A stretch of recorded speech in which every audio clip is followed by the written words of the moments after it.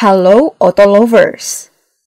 Panggung hiburan tanah air selalu saja menyimpan cerita tersendiri, terkhusus pada kehidupan para artis.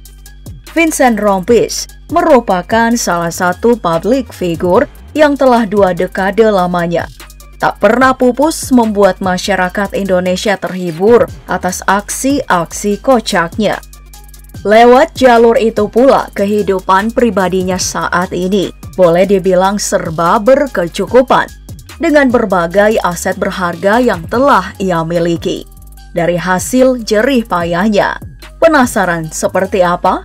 Dalam segmen Auto Sultan kali ini, kita bakal membahas berbagai koleksi kendaraan mewah dan kekayaan Vincent Rompis.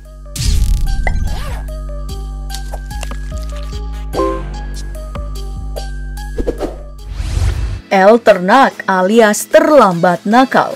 Begitulah julukan yang melekat pada salah satu anggota klub motor hits zaman now, The Prediksi ini. Sebelum terjun di panggung hiburan tanah air, pemilik nama lengkap Vincent Ryan Rompis ini lebih dulu menempuh jenjang pendidikan tinggi di Institut Kesenian Jakarta.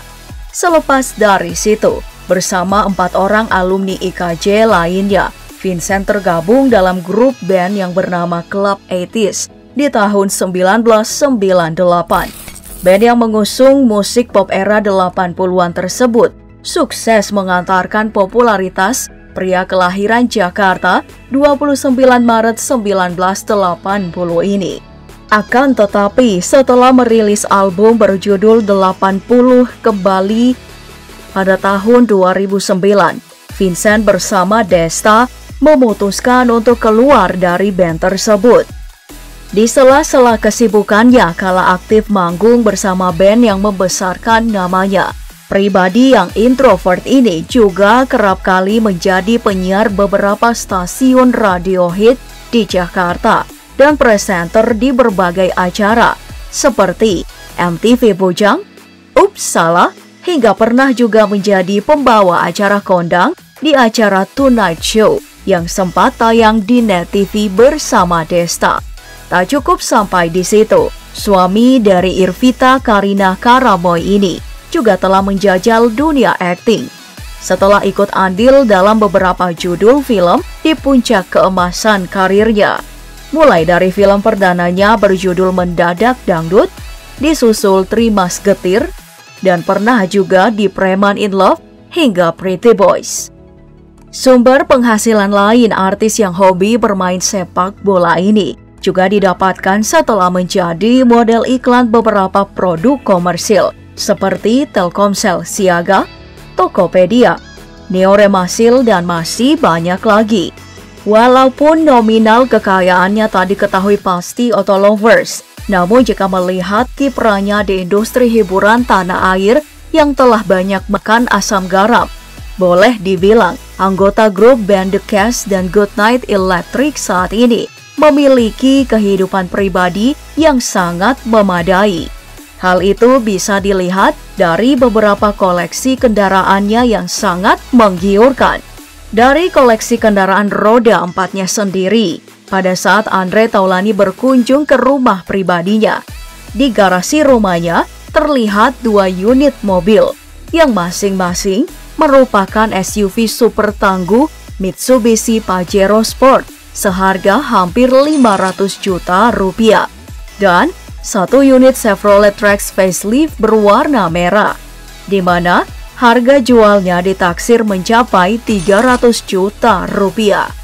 Gak cuman itu saja, kecintaan Vincent pada dunia otomotif sebenarnya lebih menonjol pada koleksi kendaraan roda duanya terkhusus pada motor custom.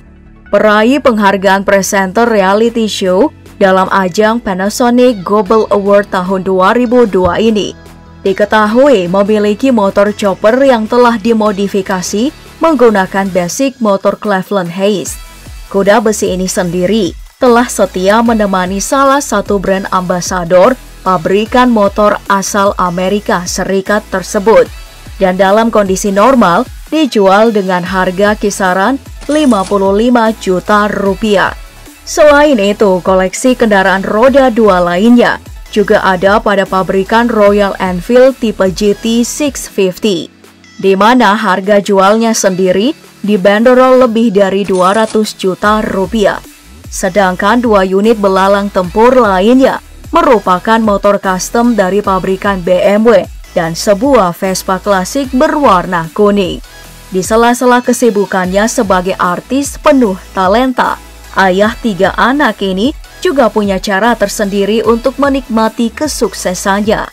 Semisal melakukan liburan ke beberapa negara seperti Australia, Belanda, Swiss, hingga mengunjungi Emirates Stadium di London, Inggris.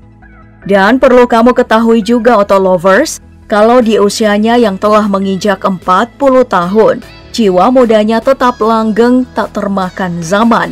Dan Doi juga merupakan salah satu kolektor piringan hitam yang tentunya merupakan salah satu hobi mahal. Dari kesuksesan yang telah diraih oleh Vincent Rompis, semoga saja mampu menginspirasi kamu semua Kira-kira ada nggak di antara kamu yang sangat mengidolakan artis yang satu ini?